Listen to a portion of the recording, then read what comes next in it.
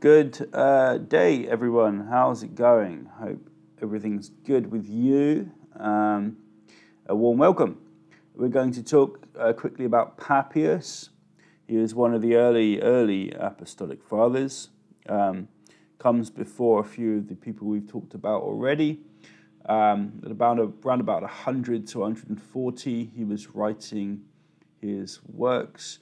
Um, then we're going to have a, a butchers of what is said about him by other church fathers because we only have information from other fathers uh, about him.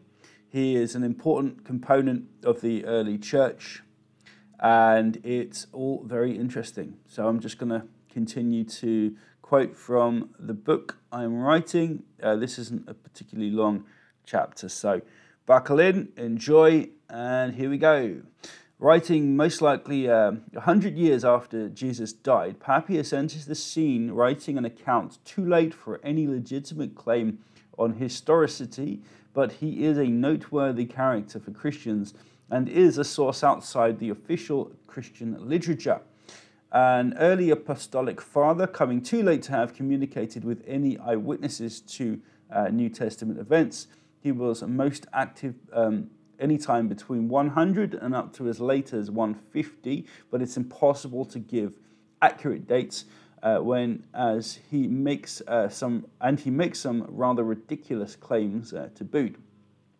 He uh, purports to be a disciple of John the Elder, also John the Presbyter, uh, sometimes confused with John the uh, Evangelist, but this is probably untrue, and Eusebius unequivocally distinguishes the John mentioned by Papias from John the Evangelist regardless.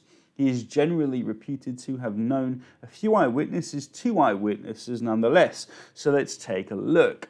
There is scant uh, fragmentary legacy uh, of his work. We shall not quote him much, but his writings and conjecture about him can easily be found online. Interestingly, Papias didn't care for books and put his trust instead in hearsay, as he considered books to be unreliable sources. Uh, quote, for I did not think uh, that information from the books was profit uh, to uh, me as much, sorry, would profit me uh, as much as information from a living and a surviving voice. This is quoted uh, by Eusebius in ecclesiastical histories. Uh, given the state of early Christian literature, literature, one may be inclined to agree with him, a man of very little intelligence, according to Eusebius, in the same character uh, chapter sorry, quoted above. He came from what is today modern Turkey, a place in ancient Phrygia called Hierapolis. He was a disciple of the martyr, uh, martyr Polycarp, and though he claimed not to have known any uh, of the original disciples, his surviving work, um, an important tomb in uh, the Christian world, is known as the Expositions of the uh, Oracles of the Lord. Uh, five volumes in all, though it only survives in a few Christian fathers' fragmentary quotations and commentary, including Irenaeus and Eusebius. So they're the guys who quote him um, the most, and we don't have many quotes, unfortunately, from him. And it's a big tome, like five volumes, and no one sought to really preserve it. And these two guys, um, Eusebius and Irenaeus, could easily have preserved this work, we can assume, and, and talked about it more if it had more of a weighty um, evidence for the historical Jesus in it. We don't have it. Why not? What was in it? I wonder um, that Papias was not himself a hearer and eyewitness of sacred apostles. So again, he, he, he's third or fourth um, removed from the historical Jesus. Instead, uh, saying he learned what he could from those who knew him. Uh, but Papias himself, again, quote, but Papias himself, in the preface of his discourses, uh, by no means declares that he was himself a hearer and eyewitness of the holy apostles, but he shows by the words which he uses that he received the, uh, the doctrines of the faith from those who were their friends. So, book, book 3 again, same chapter. Um, this is therefore third, possibly even fourth hand information regarding Jesus' life. Can we trust him? Does what he uh, we have in quotes from him afford us an interpretation on minimal mythicism as well? It, it actually might. his work exposition, exposition sorry, the oracles of the Lord, uh, might just give it away. This is partially speculative on my part, on the author's part, but oracle, according to the standard Oxford definition, uh, means a priest or priestess acting as a medium through who, uh, whom advice or prophecy was sought from the gods in classical antiquity. So, anyway, yeah, with the, uh, well, this sounds like something Paul might have be, uh, been doing through his many revelations. An oracle is someone who interprets dreams, visions, and other signs from other worlds. Oh, sorry, are these historical witnesses to the earthly Jesus? We cannot tell. This may go some way to helping us understand why Eusebius would then say the same writer gives also other accounts which he says came to, to him through unwritten tradition, certain strange parables and teachings of the Saviour, and some other more mythical things. So, what is he driving at here? Some other more mythical things. Is this um, is it that he is talking about the accounts he just mentioned coming through unwritten tradition being mythical? Two or some other accounts on top? The author is not fluent, unfortunately, in uh, ancient Greek, but it's it'd be great to find out. Here again in chapter 39, Eusebius states, To these uh, belong his statements that there will be a, a period of some thousand years after the resurrection of the dead, and that a kingdom of Christ will be set up in material form on this very earth. I suppose he got these ideas uh, through a misunderstanding of the apostolic accounts, not perceiving that the, that, that the things said to him were spoken mystically in figures. And again, I think Paul um, states that our resurrection bodies won't necessarily be from this world. I think he actually quite clearly states that. So already, um, the the funny thing is, a lot of Christians think like Papias here, and we will be bodily resurrected. It's not what Paul says; it's what the Gospels, I think, say. But we can already see that Papias might be reading from a slightly different song sheet. We may proffer that he's, or infer that he, he might be talking about a more Gnostic uh, way to interpret things. He can't help us much when, again, Eusebius evidently isn't much uh, happy with Papias' sources, not his interpretation of them, nor, sorry, his interpretation of them. If he were indeed a receiver of information from a mere three degrees of separation from the Lord himself, is it not more reasonable to assume he does know what he's talking about? Why this doubt for Eusebius? What was Papias saying? Again, quote again. But concerning Matthew, he writes as follows So then Matthew wrote the oracles in the Hebrew language, and everyone interpreted them as he was able. Again, this only one. Continue. Interpreted as they were able is not exactly a way you'd relay historical details about an earthly Messiah. However, it is language you'd use in relation to oracles channeling material from revelations about the Lord. It's illustrative that we find nothing else Eusebius thought to convey about Jesus in Papias' work. Why not? Why did he evidently reject so much? What was in those five volumes? A weighty tome, tome we may assume. Um, and the same writer uses testimonies from the first epistle of John and from that of Peter likewise. But the church father recounts Papias' works, uh, can't bring himself to tell us what they were, recounting, sorry. Um, clearly, he had these volumes in front of him, and he relates others, another story of a woman who was accused of many sins uh, before the Lord, which is contained in the Gospel according to the Hebrews. And Hebrews is much more celestial in origin. More in Hebrews, um, yes, sorry, it is a celestial Jesus mentioned in Hebrews.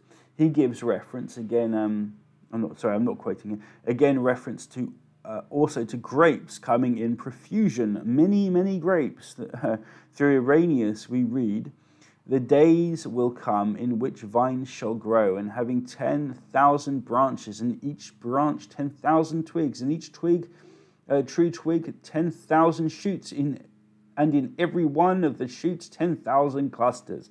and on every one of their clusters 10,000 grapes. And every grape will, uh, when pressed, will give five and twenty meters of wine. And when any one of the saints shall lay hold of a, of, of, of a cluster, sorry, another shall cry out, I am a better cluster, take me, bless the Lord through me. And this is in against heresies. This doesn't help us much with his with Jesus' historicity. Suffice it to say, he probably had a thing for grapes and perhaps a penchant for wine. Um, talking grapes, right? This is cluster, you know, take me instead. I'm better than that cluster. Going back to Eusebius, he tells us an ancient man um, who was a hero of John and a companion of Polycarp.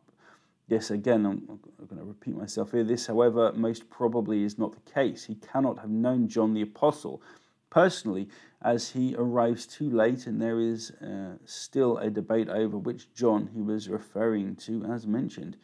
His contributions to early Christianity are marred, mirrored, mirrored by comments such as Eusebius, who didn't exactly value him as entirely credible himself, stating glibly he appears to have been a very of li- limited understanding, um, as one can see from his discourses, ecclesiastical histories again.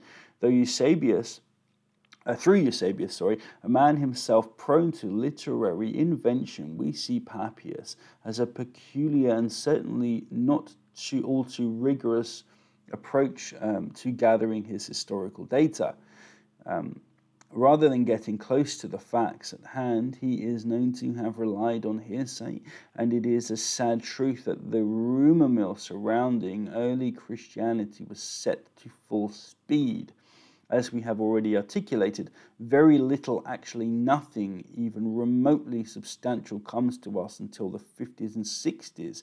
And this is, a, and this is highly reliant on the dating of Paul's epistles being correct correct, as it is Paul, basically, um, who is one of the earliest sources. And we know Paul tells us practically nothing, often relaying information regarding a celestial and etheric Jesus. That is Paul's Jesus, basically.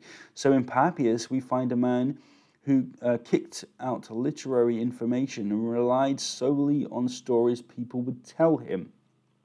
Perhaps he required hearsay, as at the time um, there was practically nothing written down to go from. This is probably reasonable to assume. But hearsay from whom? Can, uh, could we have been? Could he have been relying on information from any happy traveller he met, eager to tell him anything he wanted to hear? Who knows? Uh, David Fitzgerald, recounting one of the stranger and outlandish things uh, found in Papias, writes. Uh, uh, yeah, obviously, someone like Papias is the last person we would ever want to rely upon for information. Unfortunately, except uh, for the equally problematic Book of Acts, uh, Papias is the earliest historian, for lack of a better word, of early Christianity we have, despite writing over a century after the fledgling religion began. Unsurprisingly, the reports he has to offer us are just as ridiculous as we might expect from such a uh, reliable source. Take the horror story about Judas ballooning up full of pus and worms until his loathsome, bloated head and festering body were, in, uh, were, were the width of a wagon. This is what Papias says, lingering in agony until finally dying at home, um, not by hanging or having his guts spontaneously burst um, open per, as per Matthew and Luke, Matthew 27 5 and Acts 1 18. By the time Papias was an old man, uh, Christian legends and fabricated sayings of the Lord had clearly multiplied like bunnies, and he believed whatever story he ran across. This gives us a snapshot of, of what Christians all knew about Jesus by the mid second century and the state of their ongoing fabrications about him. That's quite self explanatory. It's sad in, in, in many ways that this is what we have to go on. Yes, the festering, this festering blood um, pus filled mess of a balloon, the treacherous uh, Judas is reduced to come straight from Papias. This example above um, Fitzgerald brings up in direct contravention with biblical accounts. He was hanged in, in Matthew uh, 27 5 is obviously fictional. It does resemble Acts' version of Judas' death a little more, but involve, involving guts spilling out. Uh, but Papias uses some gross embellishments. Um, whoever relayed this to Papias clearly wanted to grossly, quite literally, exaggerate the grim nature of uh, Judas's death in a frankly morbid and comic style uh, of divine punishment for having been so disloyal to the Lord and his beloved Son.